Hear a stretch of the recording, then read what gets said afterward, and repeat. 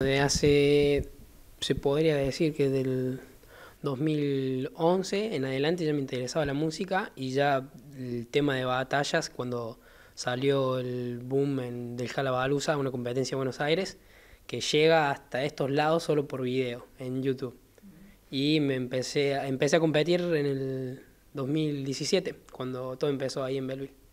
Bueno, justamente ahí conociste a los chicos, a este grupo, ¿fue en ese momento?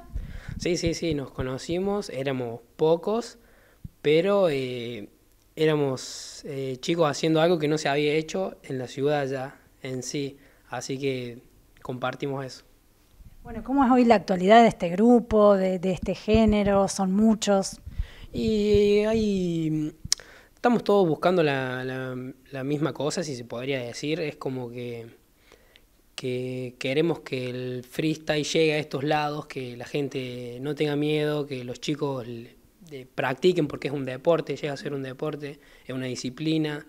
Casi nunca entreno para ir a competir porque estoy grabando canciones en este momento, pero siempre me preparo, digamos, eh, mentalmente, siempre tranquilo, con, con ganas de estar allá y bueno, lo que salga.